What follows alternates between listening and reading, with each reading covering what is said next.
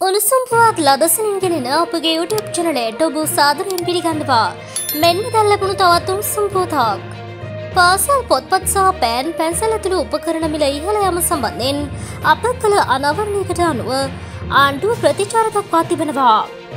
ඒ අනුව පාසල් උපකරණ වෙත පැන වූ සෙස්පද සංශෝධනය කිරීමේ හැකියාවක් ඇදැයි සොයා බැලීමටයි අවධානය යොමු වෙත්තේ.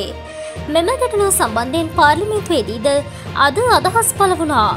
මුදල් රාජ්‍ය මන්ත්‍රී රංජිත් සියඹලා පිටිය ඊට ප්‍රතිචාර දක්වා තිබුණා.